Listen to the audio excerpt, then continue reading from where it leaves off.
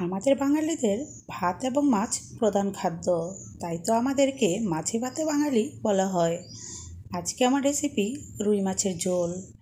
আর রুই মাছের ঝোলটা কিন্তু খেতে অসাধারণ হয়েছে। এভাবে বাসায় বানিয়ে খেয়ে দেখতে পারেন। আশা করি আপনার পরিবারের সকলে খুব পছন্দ করবে।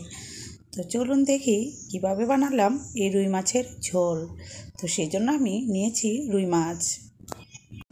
মাছগুলোকে আমি ভালো করে লবণ দিয়ে কচলিয়ে মেখে ধুয়ে নিয়েছি। তারপরে কিন্তু পানি ছেঁকে নিয়েছি।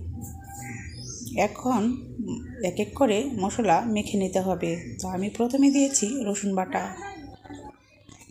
তারপরে দিয়েছি এখানে আমি ধনিয়া পেস্ট। তারপরে দিলাম শুকনো মরিচের পেস্ট।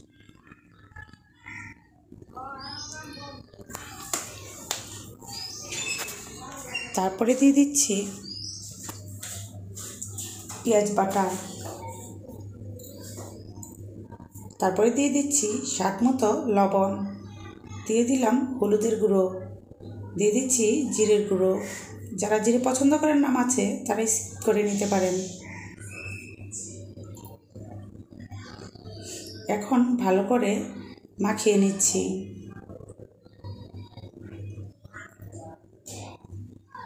হাত দিয়েই ভালো করে মাখিয়ে নিতে হবে। যেন প্রতিটা মাছের মধ্যে মশলাটা ভালো করে মাখানো হয়। আর দিয়ে দিচ্ছি সামান্য সাদা তেল। এখানে আপনি ইচ্ছা করলে সরিষার তেলও ব্যবহার করতে পারেন। এখন আমি মেখে রেখে দিব, অন্তত পনেরো মিনিট।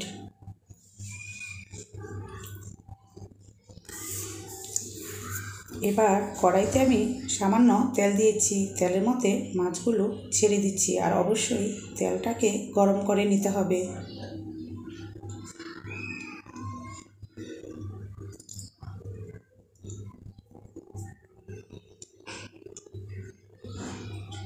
এবার ঢেকে দিলাম। যখন এক পাশ হয়ে যাবে, তারপর কিন্তু আরেক পাশ এভাবে উল্টিয়ে নিতে হবে।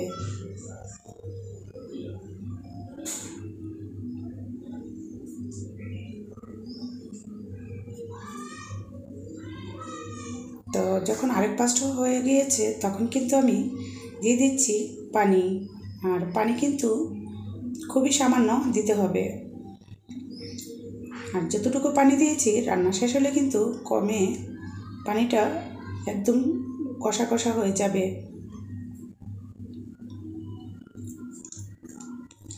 এবার দিয়ে দিলাম কাঁচামরিচ। কাঁচামরিচটা যখন একটু সিদ্ধ হয়েছে, আমি দিয়ে দিচ্ছি এখানে কয়েকটা লেবু পাতা। যারা লেবু পাতার গ্রানটা ভালো পছন্দ করেন না তারা স্কিপ করে নেবেন। তবে লেবু পাতা দিলে এই তরকারিটা কিন্তু স্বাদ অনেক গুণ বেড়ে যায়।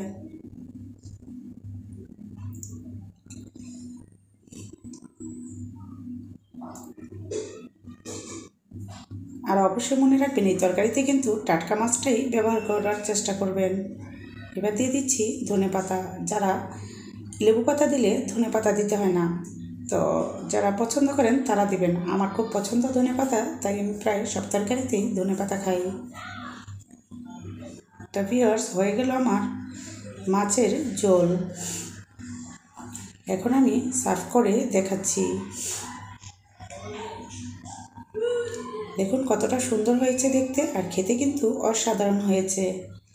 ভিওয়ার্স যদি ভিডিওটি ভালো লাগে, তাহলে অবশ্যই লাইক কমেন্ট শেয়ার করবেন। সাবস্ক্রাইব করে পাশে থাকা বেল আইকনটি ক্লিক করে দিবেন। তাহলে আমার সকল ভিডিও আপনার কাছে চলে যাবে।